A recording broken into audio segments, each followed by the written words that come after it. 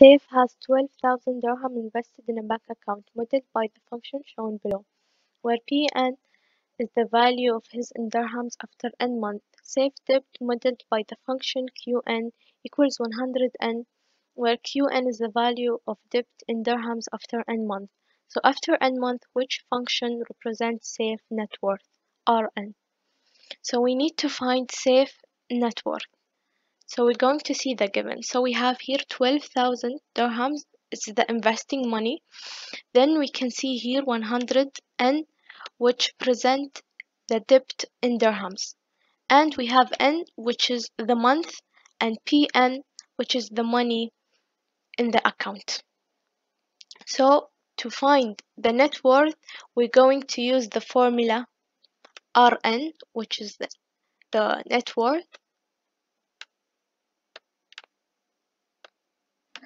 equals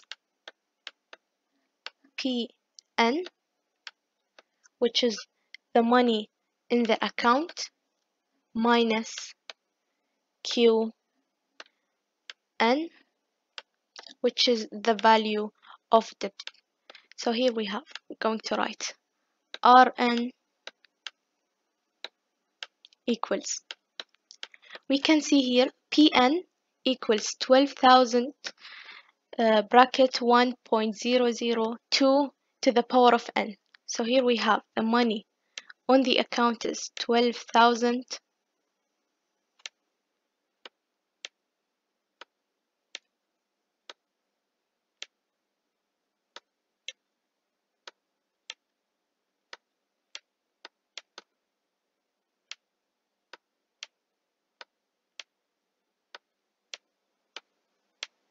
minus Qn, which is, as we can see here, 100n.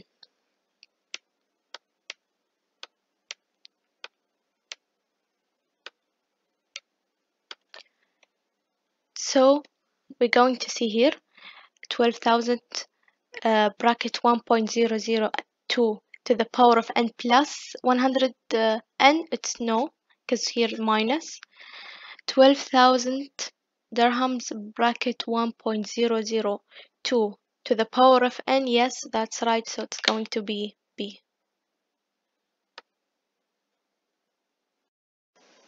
A rectangle is 3.79 meters wide and has a perimeter of 24.50.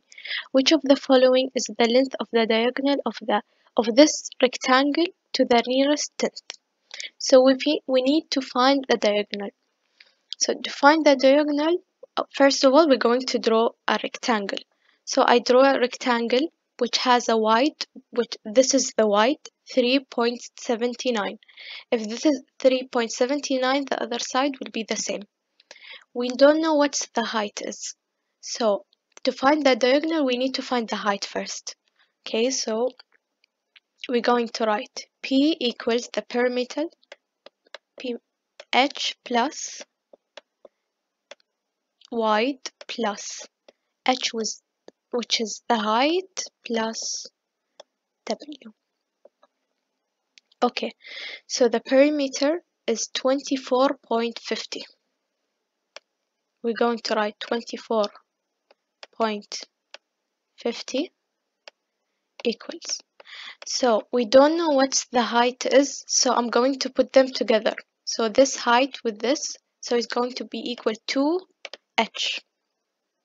We know what the height is, which is 3, uh, the wide I mean, 3.79 plus 3.79 and also again plus 3.79.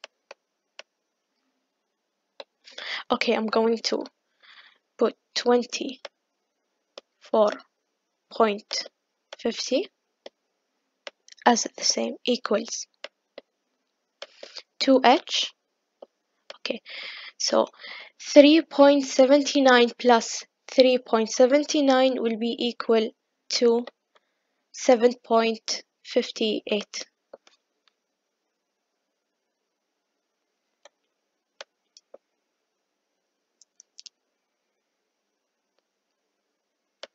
okay so 7.58 okay so now I need to leave 2h alone.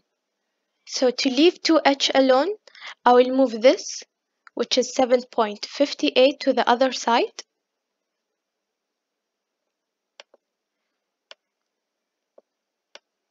Okay so it's going to be 24.50 minus. Y minus? Because I move it to the other side and the sign will change. 7.58 equals 2h okay now 2h equals 24.50 minus 7.58 will be equal to 16.92 and then I don't want to h I want to leave h by itself.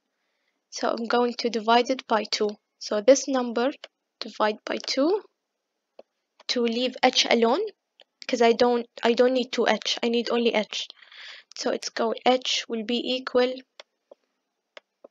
8.46 which we have the height equals 4.8.46 so now we need to find the diagonal. So we find the height and we have the width. So we can find the diagonal which is this one.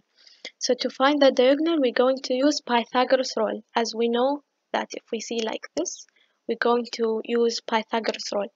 The Pythagoras rule says c squared equals a squared plus b squared. Okay, so instead of using a and b, we're going to use w and h because we have height and width. So c squared equals w squared plus h squared.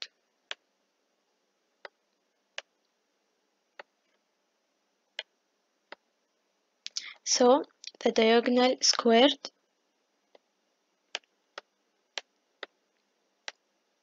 equals the width is 3.79 so 3.79 squared.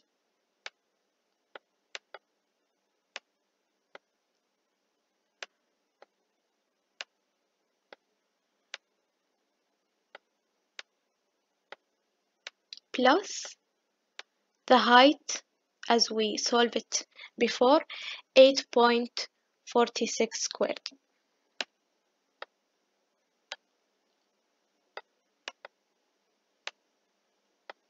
So I am using squared because we have here in the formula it says squared.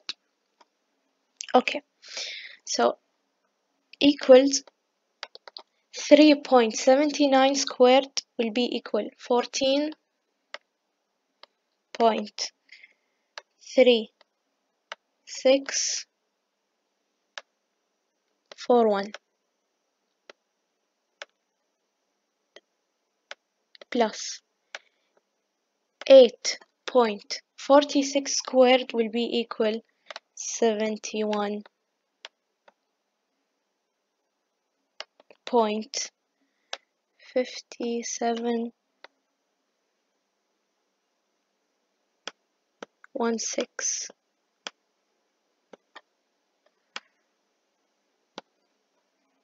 Okay equals so we're going to put this number in the calculator, then the answer will be 85.9357 and we're going to put it in square root because the as we can see here c squared. So c squared the square root. So after finding the answer we need to put in the square root. So so 85.9357 we're going to put it in square root point nine three, five, seven. Okay, so after putting this in the calculator, we're going to have nine point equals,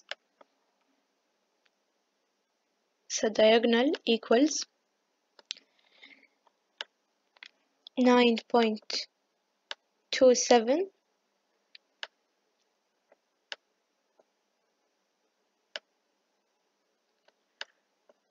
two seven zero.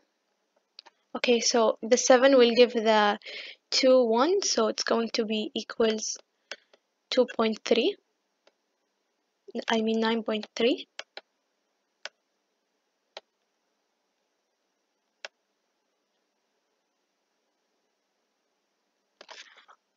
which will be C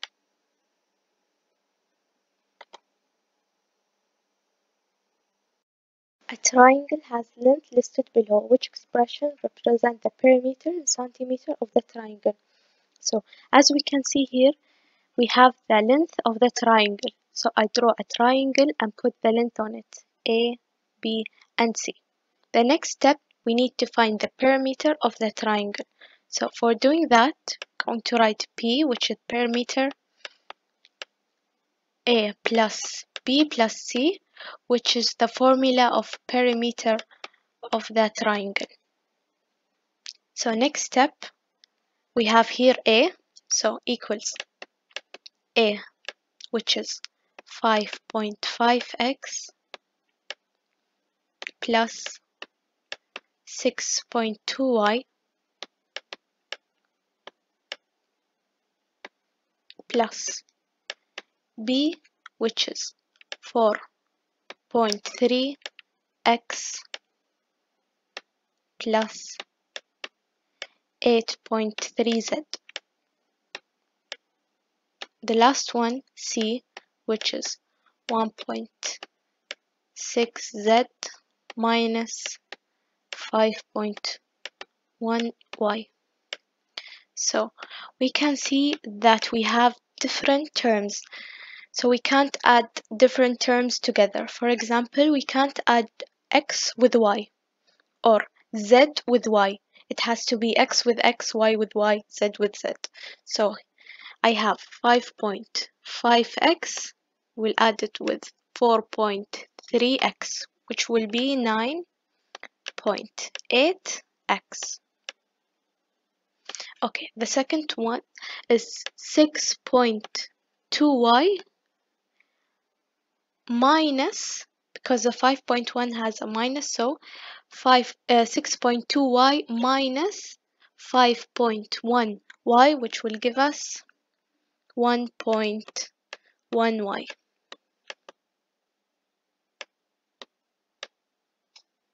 then the z. So 8.3z with 1.6z will give us 9.9z.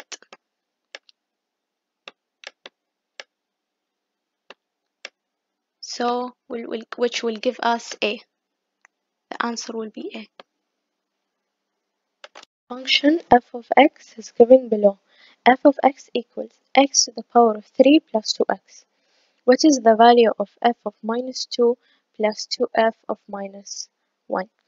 So to solve this, we're going to solve first the first one, then the second, then we're going to put them together. So first, let's solve the first one, which is f of minus 2 equals. We're going to replace each x with minus 2. So first, we have here x to the power of 3, so we're going to replace it with minus 2. So it's going to be minus 2 to the power of 3 plus 2 minus 2 equals. So minus 2 to the power of 3 equals minus 8 plus 2 times minus 2 equals minus 4 minus 8 plus minus 4 will be equal to minus 12 Okay, now we solved the first one. Now let's go to the second. So f of minus 1. The same steps, but instead of putting minus 2, we're going to put minus 1. So minus 1 to the power of 3 plus 2 times minus 1 equals. So minus 1 to the power of 3 equals plus 2 times minus 1 will be equal to minus 2. So if we put this in the calculator, we're going to have minus 3. Okay, now as we can see here, f of minus 2 plus 2f of minus, uh, 1. So f of minus 2 is minus 12. I'm going to put it minus 12 plus. Here we have 2, so we're going to put it the same. Okay, uh, f of minus 1 equals minus 3. So minus 3. Okay, so I'm gonna put minus 12. Okay, 2 times minus 3 will be equal to minus 6. So minus 12 minus 6 will be equal to minus. So the answer will be B.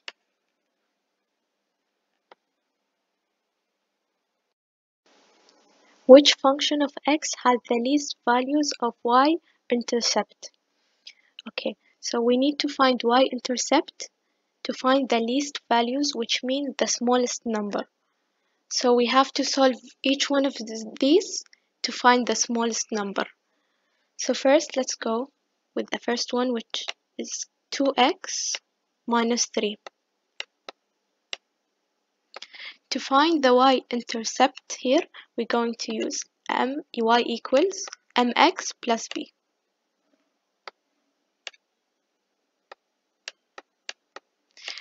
So b is the y-intercept.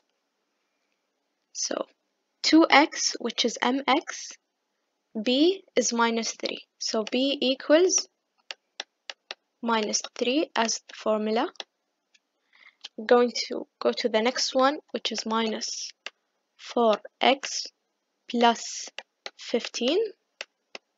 So here b equals 15.